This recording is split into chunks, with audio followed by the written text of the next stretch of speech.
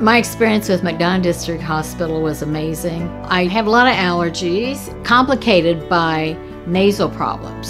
And the procedure I had is VivAir. Dr. Sparks was incredible. The VivAir procedure is a radiofrequency ablation procedure. She no longer has to do any medications to breathe, so she gets much more restful night's sleep and a short little office procedure and have somebody that feels like it's totally changed their life means the world.